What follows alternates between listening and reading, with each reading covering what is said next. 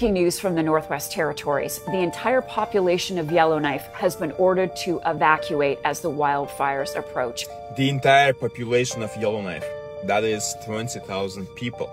Let me please remind you that Yellowknife is the capital and the largest community and uh, the only city in North Territories. According to the government officials, the wildfires in the territory are caused by the lightning strikes. Really? Or maybe someone started it. But the government officials say no.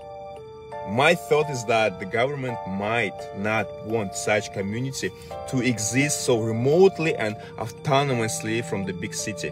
You know, the North Territory government ordered in evacuation of all residents of Yellowknife as a precautionary measure on Wednesday, August 16th.